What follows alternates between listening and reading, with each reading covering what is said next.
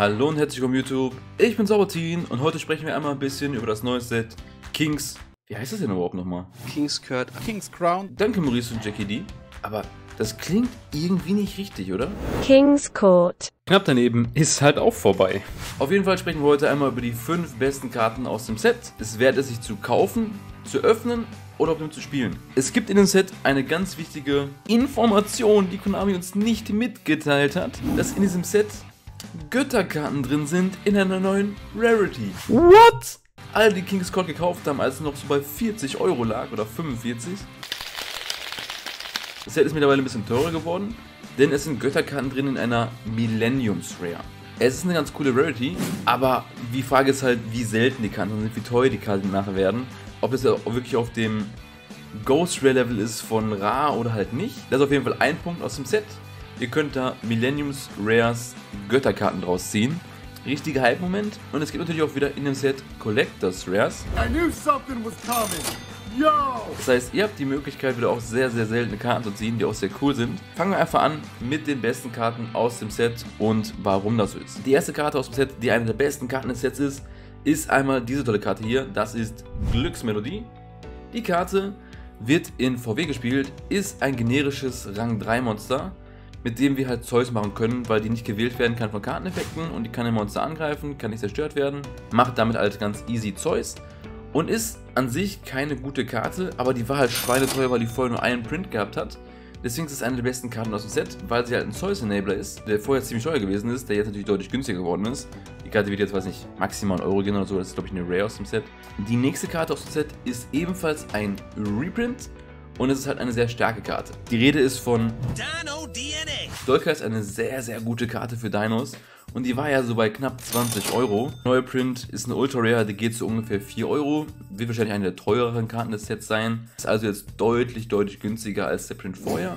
Dolka hat die Fähigkeit, Monster-Effekte zu annullieren und das halt nicht einmal pro Spielzug, sondern er hat zwei Materialien, er kann ein Material abhängen und Monster-Effekt annullieren, kann also zwei Monster-Effekte annullieren, was halt schon ziemlich, ziemlich stark ist. Die nächste Karte aus dem Set ist natürlich eine neue Karte. Und das ist die Karte Joker's Knight. Diese Karte kennen wahrscheinlich noch nicht so viele, weil sie auch neu in dem Set drin ist. Die hat die Fähigkeit, dass ihr eins der Monster, King's Knight, Queen's Knight, Joker, äh, Jack's Knight, vollkommen egal, von Deck auf den Friedhof schicken könnt. Dann haben wir diese Karte im selben Namen und die könnt ihr von eurer Hand spezial beschwören. Ist also erstmal ein Free Special Summon, was jetzt halt nicht bad ist. Der andere Effekt dieser Karte ist, in der Endphase, wenn diese Karte im Friedhof liegt, könnt ihr ein anderes Licht-Kriegermonster von eurem Friedhof in ein Stack zurückmischen und dann die Karte wieder auf die Hand nehmen.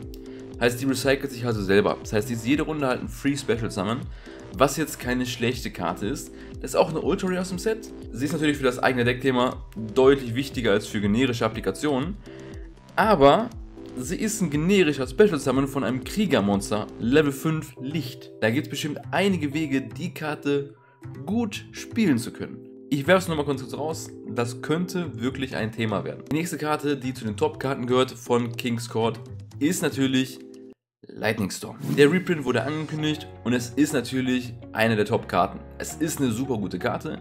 Es ist, by the way, auch eine Ultra Rare, also auch nicht ganz so einfach zu bekommen. Und die Karte geht aktuell so 40 Euro. Ist also nicht viel günstiger als der andere Print, was halt voll dumm ist. Aber die Karte wird halt schon fallen. Für alle, die warum auch immer nicht wissen, was Lightning Storm tut, wenn ihr keine offenen Karten kontrolliert, könnt ihr die aktivieren, könnt ihr entweder alle ATK-Monster zerstören oder halt alle Zauber- und Fallenkarten. Einfach eine gute, solide Karte. Kam damals in Ignition Assault raus, jetzt gab es den Reprint hier in King's Court. Ich bin mal gespannt, ob die wirklich auch in die Megatins drin sein wird oder ob die wirklich sagen, wir haben jetzt hier den Print, wir machen die in die Megatins nicht rein. Bevor wir jetzt zum ersten Platz kommen, zu der besten Karte aus dem Set, gibt es auch ein paar lobenswerte Erwähnungen.